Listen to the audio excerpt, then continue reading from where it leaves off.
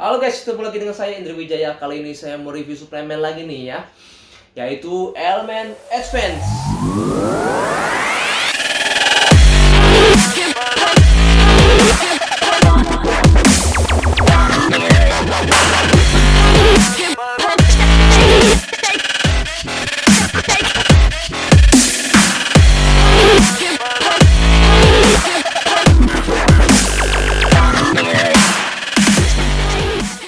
Elemen Advance memiliki dua variasi ukuran, ukuran yang kecil dan yang besar. Ukuran yang kecil itu dengan berat 250 gram seperti yang saya miliki ini, ukuran yang kecil ya. Dan yang besar itu dengan berat 500 gram. Soal rasa, ukuran kecil hanya ada satu rasa yaitu dengan rasa cappuccino dan ukuran besar hanya ada satu rasa juga dengan rasa choco vanilla. Mengenai soal harga, kalau ukuran kecil itu 86.800, kalau ukuran besar itu dengan harga 133.500.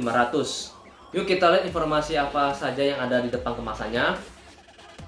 Dengan 28% whey protein, high protein rasa cappuccino dengan berat 250 gram. Kalau yang rasa choco vanilla itu dengan berat 500 gram ya. Kemudian kita lihat informasi yang ada di belakang kemasannya. Tinggi protein, tinggi kalsium, lebih rendah lemak.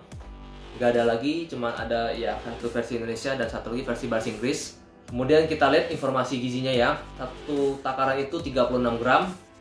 Untuk ukuran yang 250 gram ini bisa 7 kali minum. Untuk ukurannya 500 gram bisa 14 kali minum. Kalau yang ukuran kecil ini sekali minumnya 12.400. Kalau ukuran yang besar itu sekali minum 9.535 rupiah. Ya kita bulatkan 9.500 lah ya. Bagaimana menurut teman-teman? Apakah worth it atau enggak untuk sekali minumnya ya? Bisa tulis di kolom komentar. Saya ingin tahu. Ini kalau menurut saya worth it. Mengapa? Ini nonton sampai habis ya. Akan saya jelaskan mengapa worth it. Total energinya 140 kalori. Total lemaknya 3 eh, sorry 2,5 gram. Proteinnya itu 15 gram. Menurut saya termasuk cukup tinggi. Dibilang rendah enggak juga, dibilang tinggi banget ya enggak rata-rata kalau yang tinggi itu di atas 20 gram. Ini termasuk cukup tinggi ya. Kemudian masih mengandung laktosa 13 gram, ya ini salah satu kekurangannya ya. Dan mengandung multivitamin, nah, yang saya suka juga ini tinggi kalsium ya. Kalsiumnya itu 483 mg atau 45% berdasarkan AKG, udah hampir memenuhi setengah kebutuhan harian kita. Cara penyajiannya ya, kalau dari Elme ini merekomendasikan menggunakan air 200 ml. Kalau menurut saya rekomendasinya 300 ml. Kenapa? Karena protein itu bersifat larut pada air. Kalau kita minum air lebih banyak, lebih terserap oleh tubuh ya dan tidak memperberat kerja ginjal. Jadi penyerapannya lebih optimal. Ini boleh menggunakan air dingin atau air hangat ya, jangan air panas mungkin nggak enak kali ya. Kalau saya lebih suka pakai air dingin, lebih nikmat. Nah itu balik lagi ke selera teman-teman ya. Kemudian untuk uh, ingredientsnya atau komposisinya ini menggunakan whey protein konsentrat nggak ada campuran whey protein isolate ya. Ini saya baca sampai habis nggak ada ya. Nah kalau menggunakan whey protein konsentrat wajar masih mengandung laktosa. Biasa kalau yang menggunakan semuanya whey protein isolate ya itu laktosanya benar-benar rendah atau bisa nggak mengandung laktosa ya. Menurut saya worth it. Nggak sampai 10.000 kita dapat uh, minuman ini dengan rendah lemak masuk tinggi protein 15 gram protein kemudian tinggi kalsium 483 mg kalsiumnya ya atau 45% nah bagaimana menurut teman-teman? Bisa tulis di kolom komentar. Kemudian soal rasa menurut saya yang cappuccino ini termasuk enak.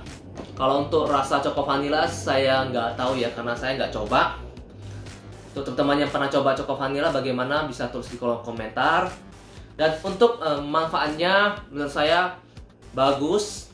Nah cuman saja kekurangannya itu mengandung tinggi laktosa ya. Saya tuh masuk cukup tinggi laktosanya. Ya untuk yang alergi pasti bisa timbul jerawat atau merasa kembung atau yang lainnya. Tapi untuk yang nggak alergi ya nggak masalah laktosa itu. Tuh teman-teman yang ingin bertanya bisa tulis di kolom komentar.